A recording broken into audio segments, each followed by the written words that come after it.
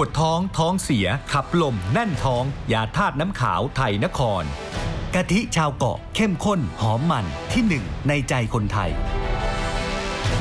กลับมาช่วงนี้ของข่าวชนข่าวเย็นนะครับ เราจะมาพูดคุยกับคุณเสริมสุขกสิทธิประดิษฐ์บรรณาธิการบริหารของช่องนิว18ของเรานะครับ มาอธิบายขยายความกันถึงขั้นตอนในการลำเลียงทั้ง 13 คนในถ้ำหลวงออกมาอย่างปลอดภัยนะครับ สวัสดีคุณเสริมสุขครับ สวัสดีครับค่ะสวัสดีครับแต่ว่าก่อนจะไปถึงขั้นนั้น เดี๋ยวผมจะให้ผู้ชมได้ดูด้านหลังของเราหน่อยนะครับ คุณกนกนวลค่ะ ด้านหลังถือว่าเป็นสื่อสื่อสิ่งพิมพ์ของทั่วครับโลกคที่รับมีการเผยแพร่ข่าวของน้องๆทั้ง 13 คน แล้วก็ภารกิจ เรียกได้ว่าไม่มีใครไม่รู้จักครับถ้ำหลวงที่เชียงราย แล้วก็ไม่มีใครไม่รู้จักประเทศไทยนะตอนนี้ จะเห็นว่าสื่อหลากหลายเลยนะคะ เรียกได้ว่าทั่วโลกเลยครับแล้วก็มีสื่อจากเยอรมนีที่ชื่อว่าหนังสือพิมพ์บริลใช่ไหมคะที่มีการพิมพ์ภาพแล้วก็พิมพ์ตัวอักษรเป็นคำภาษาไทยด้วยครับอืมว่าหมูป่าสู้ๆใช่เนี่ยนฮค่ะนี่ก็อย่างนี้ยก็เป็นพาดหัวของสถานการณ์ล่าสุด บอกว่า all ค่ะ out miracle ก็คือเด็กออกมาหมดครับเป็นเรื่อง miracle ก็คือปาฏิหาริย์ค่ะอัศจรรย์อะไรประมาณนี้อืมเพราะว่านี่สื่อสิ่งพิมพ์เนี่ยนอกจากสื่อสิ่งพิมพ์แล้วนะครับ ทีวีนี่ทั่วโลกเหมือนกันครับค่ะ NHK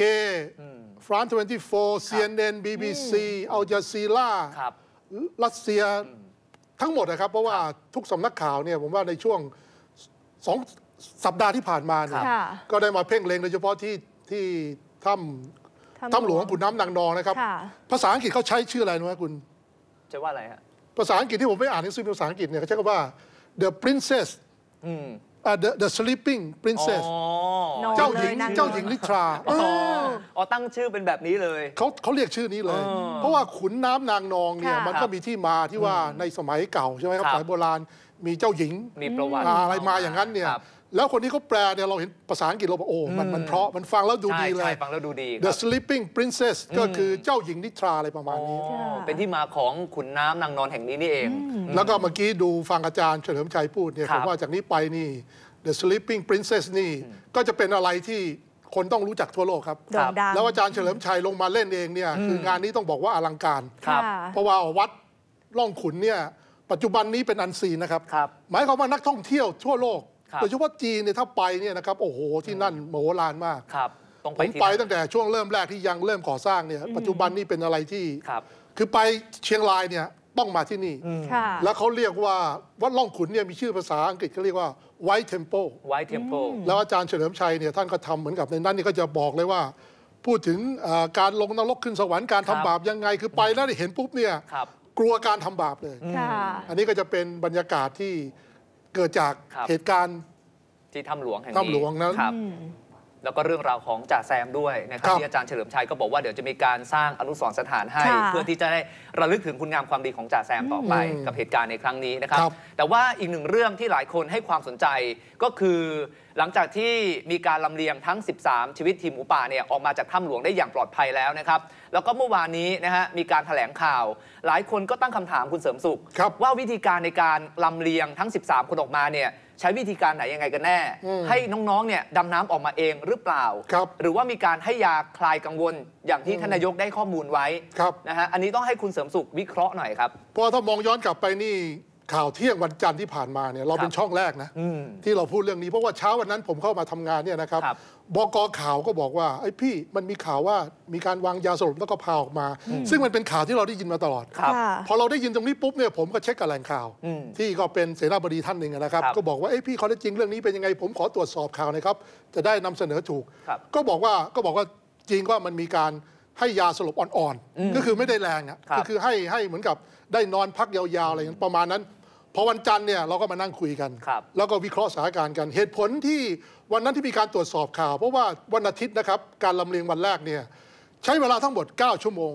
ซึ่งมันน้อยมากครับเพราะว่าท่านผู้ว่าเนี่ยท่านเคยบอกว่าไปกลับเนี่ยต้องมี 11 ชั่วโมงครับค่ะมันก็เลยเกิดคำถาม ผมก็ตั้งคำถามกับตัวเองว่าเอ้แล้วสองชั่วโมงที่มันเร็วขึ้นเนี่ยครับมันเกิดอะไรขึ้นครับก็เลยพูดคุยกับแหล่งข่าวท่านนี้แหละครับ ท่านก็บอกว่ามันรวดเร็วขึ้น เพราะว่าเด็กเนี่ย ไม่ได้ว่ายน้ำมาด้วยอืมคือเด็กเนี่ยถูกเออพอมาถึงเนี่ยมีการให้ยาครับค่ะเพื่อให้นอนหลับนะครับ ให้นอนหลับยาวหมายความว่าจะได้ไม่ไม่ไม่ตื่นตระหนกไม่ครับแพนิคในการที่จะลำเลียงออกมาครับแล้วก็เอากระดาษห่อฟอยล์เนี่ยอย่างดีเนี่ยนะครับอืม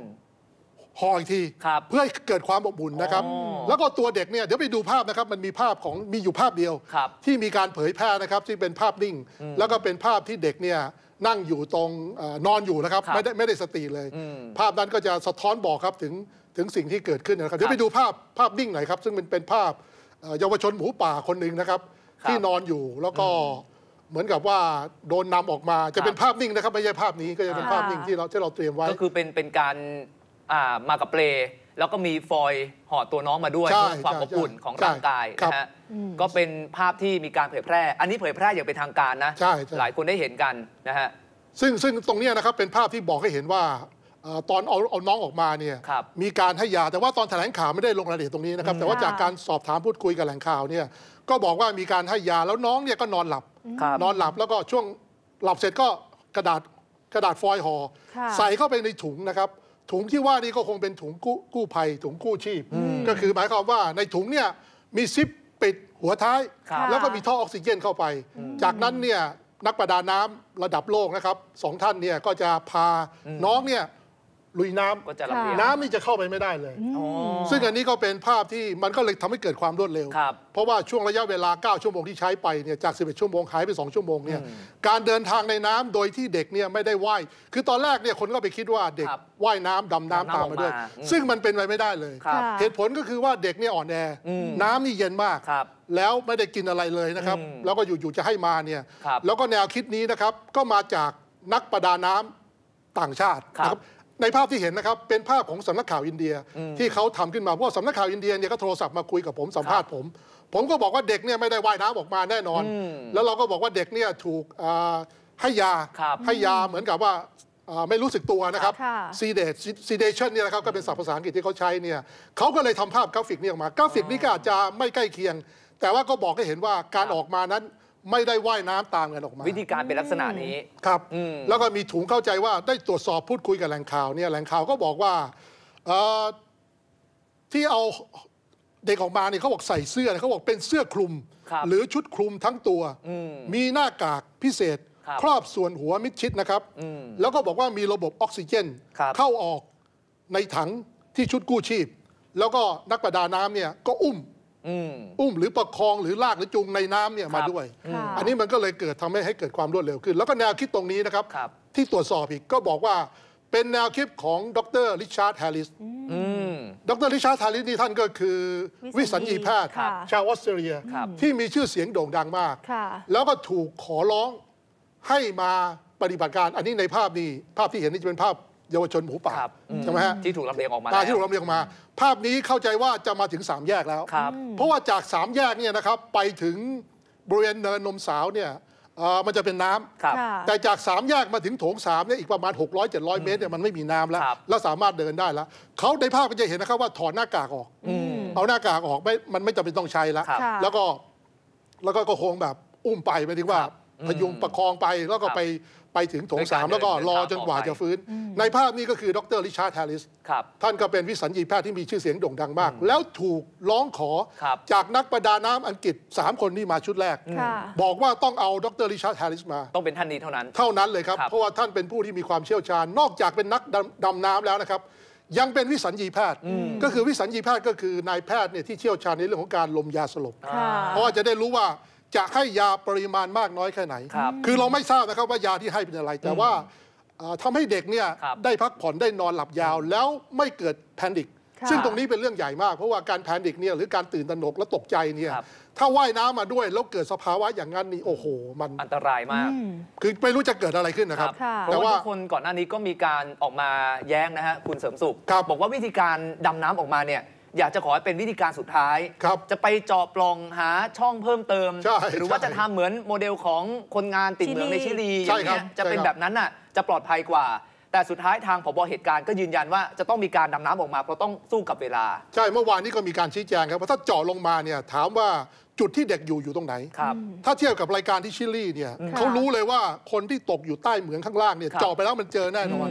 แต่อันนี่เจาะไปแล้วก็ไม่รู้จะเจอไหม ครับค่ะ แล้วมันยังมีออปชันก่อนที่เขาจะลุยกันวันอาทิตย์เนี่ยนะครับครับสุกร์เสาร์เนี่ยช่องนิวสิบแปดเราก็พูดว่าเอ้ยคุยกับนักวิชาการด้าน วิศวกรปัตตภีก็พูดถึงความเป็นไปได้ว่าเจาะจากบนเขาลงมา ค่ะ หรือจะมาทะลุจากท้ายจากท้ายถ้ำถ้ำทะลวงเข้ามา ครับแต่ในที่สุดก็เลือกวิธีนี้ ใช่ครับ แล้วตอนแรกเนี่ยก็ไม่มีใครรู้นะครับว่าจะใช้วิธีการคือ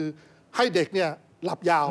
แล้วก็เป็นผลดีมากเพราะว่าสิ่งครับ ที่เกิดขึ้นนั้นก็คือทำให้เห็นว่า เอ่อเด็กปลอดภัยหมดค่ะแล้วก็ไม่เกิดความสูญเสียเลย เหตุการณ์ที่เกิดขึ้นอ้อเดี๋ยวมันมีประเด็นหนึ่งเรื่องของพบหน่วยซิลอ่าท่านพูดถึงเรื่องนี้นะครับ เดี๋ยวไปฟังเสียงท่านหน่อยเพราะว่าท่านพูดนี่ให้ภาพชัดเจนมากว่า เด็กเนี่ยออกมาอย่างไรครับไปฟังเสียงท่านหน่อยครับ ตรงนั้นก็มันต้องใช้วิธีการไม่ให้น้องเนี่ยมันตื่นน้องก็ตื่นตระหนกนะครับ เพราะว่าถ้าตื่นตระหนกเนี่ยขณะที่นำพาน้องจะดิ้นอะไรเนี่ยนะครับ ก็ นะครับก็นั้นก็เป็นการนำพามาเรื่อยๆครับบางคนก็มีสติบางคนก็คงจะนอนหลับไปอะไรเงี้ยก็ไม่ได้มีปัญหาอะไรนะครับเพราะว่านักดำน้ำผมเนี่ยบางคนขึ้นมาแล้วก็จะหนาวมากเหมือนกันน้องเขาแบบควรเฟสแมสอะไรเงี้ยแล้วก็ให้อากาศมาก็น้องๆก็แค่หายใจมาเข้าใจไหมฮะนอนหลับนอน ก็มามาหายใจมาใช่ไหมฮะแล้วก็มีคนช่วยนำพามาก็แค่นี้ แล้วน้องก็อยู่เฉยๆ ไม่ต้องทำอะไรมาก ไม่ต้องว่ายน้ำเข้าใจป่ะ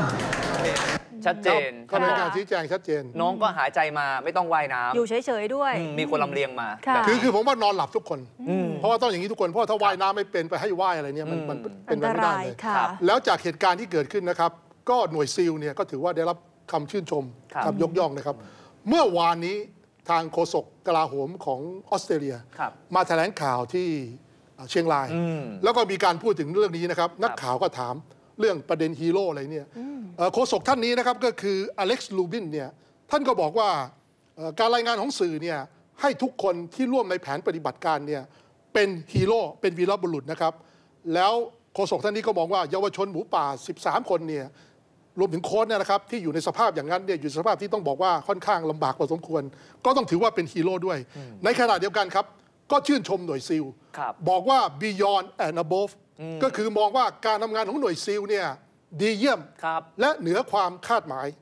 นอกจากนี้เนี่ยยังพูดชื่นชมถึงการทำงานของพอสอรอท่านอดีตผู้ว่าเชียงรายนะครับ ที่บอกว่าการนำของท่านเนี่ยคือการนำในการทำงานการควบคุม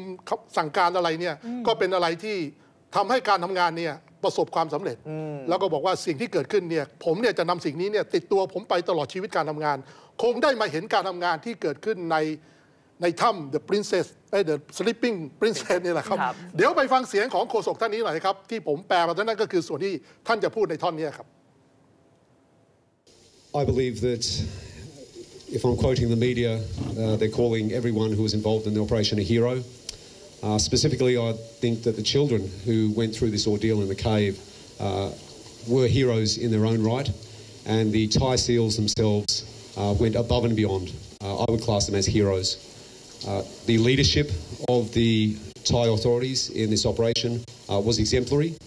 and the command and control which enabled this success is uh, something that I will take away for the rest of my career. ในสิ่งที่พูดถึงหน่วยซิลเนี่ยก็บอกว่า above and beyond ครับ ต้องบอกว่าเป็นคำชื่นชมการทำงานของหน่วยซิลเลย ค่ะ แล้วอันนี้เราก็ไม่เคยได้ยินนะครับ ครับ แต่ว่าสิ่งที่เกิดขึ้นนั้นเอ่อ ภารกิจของนักประดาน้ำเนี่ยทั้งหมด 18-19 คนที่เข้าไปเนี่ยเป็นต่างชาติ 13ครับมีหน่วยซิลเนี่ยห้าค่ะแต่ว่าต่างชาติเนี่ยคงจะเป็นกำลังหลักแหละครับ เพราะว่าครับท่านพวกนี้เนี่ยต้องบอกว่าเป็นระดับมือพระกาฬระดับโลก มือพระกาฬระดับเทพเลยค่ะมาเนี่ยแล้วก็ทุกอย่างนี่ happy ending หมดครับเพราะฉะนั้นก็ไม่ต้องไปติดใจอะไรในสิ่งที่มันเกิดขึ้น เพราะว่าเมื่อวานนี้ก็นักข่าวก็พยายามถามเรื่องยาเยอะ ผมว่าไม่ต้องไปสนใจตรงนั้นครับเพราะว่าสิ่งที่เกิดขึ้นก็บอกว่าลูกๆ หมูป่าหลานๆเนี่ยครับ ออกมาได้หมดเนี่ยปลอดภัยว่ามันก็แล้วมันก็เป็นข่าวใหญ่ค่ะที่เกิดขึ้นแล้วก็เป็นที่โอ้โห มันไปทั่วโลกเมื่อวานนี้นี่เป็นอะไรที่สื่อทั่วโลกนี่ประสานเสียงกันค่ะจะทำหนังด้วยจะทำหนังฮอลลีวูดจะทำให้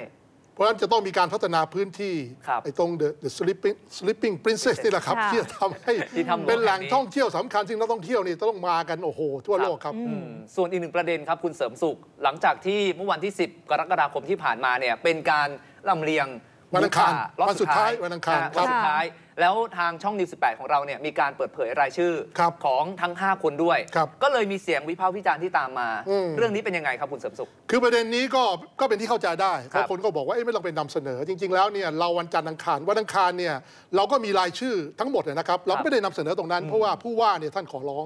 แต่ว่าวันอังคารเนี่ยเป็นวันสุดท้าย ซึ่งเราก็คุยกันก็ได้คุยกับท่านเอ่อบรรณาธิการใหญ่นะครับครับแล้วก็ พูดถึงสิ่งที่เกิดขึ้นก็ผมก็ให้เหตุผลบอกว่ามันเหลือทั้งหมดเนี่ยห้าคน แล้วเรารู้รายชื่อทั้งหมดเนี่ยการนำเสนอเพื่อให้รู้ว่าวันนี้จะมีปฏิบัติการช่วยเหลือ เพื่อเอาทั้ง 5 คนเนี่ยออกมาเนี่ย เราก็ถือว่าเป็นการทำหน้าที่ในการให้สังคมรับรู้โดยเฉพาะญาติพี่น้องตรงนั้นนะครับ แล้วก็วันนั้นเนี่ยก็ถือว่าหมดเลย แต่ว่าวันวันจันทร์ก่อนหน้านั้นที่เราไม่ได้เสนอชื่อ เพราะผู้ว่าก็กังวลว่า หากเสนอชื่อไปแล้วเนี่ยแล้วคนที่ไม่ได้ออกมาเนี่ยอาจจะทำให้เกิดความกังวลค่ะอันนี้ก็เป็นเหตุผลแต่ว่าในโซเชียลมีเดียหรือแม้แม้กระทั่งในเว็บเว็บไซต์ไอเฟซบุ๊กผมเนี่คยรับก็มีคนมาวิจารณ์ผมก็อธิบายชี้แจงให้ฟังอะครับว่า เราก็ทำหน้าที่ตรงนี้ครับเพราะว่ารายชื่อ 5 คนนั้น วันนั้นก็ออกมาตามนี้เลยครับ คือทั้งหมดก็ถูกต้องหมดครับแล้วก็ในค่ะในค่ำคืนนั้นก็ทยอยกันออกมาอันนี้ก็ชี้แจงทำความเข้าใจเพราะว่าในส่วนที่อาจจะติดใจว่า เอ๊ะทำไมไปทำผิดข้อตกลงอะไร มันไม่ได้ผิดข้อตกลงครับเราก็มองในส่วนที่ว่าเป็นการทำงานของสื่ออค่ะแล้วเราก็เกาะติดเรื่องนี้มาตลอดครับรายชื่อนี่เรามีตั้งแต่วันแรกวันที่สองนะครับวันที่สองนี่เราไม่ได้เสนอเลย เพราะว่าครับมีการร้องขอมาวันที่สามก็มีการนำเรียนอย่างอย่างที่เล่าให้ฟังเนี่ยครับค่ะครับ เพราะฉะนั้นนี่ก็เป็นการชี้แจงนะครับที่ มีเหตุการณ์ที่ท่านผู้ชมเองอาจจะไม่สบายใจกับการนำเสนอของช่องนิว18ของเรานะครับ วันนี้ก็ได้คุณเสริมสุขมาพูดคุยให้ข้อมูลกันนะครับ ขอบคุณคุณเสริมสุขนะครับ ขอบคุณยินดีครัค่ะบขอบคุณค่ะ เดี๋ยวช่วงหน้าค่ะกลับไปติดตามข่าวชนข่าวภาคเย็นกันต่อค่ะ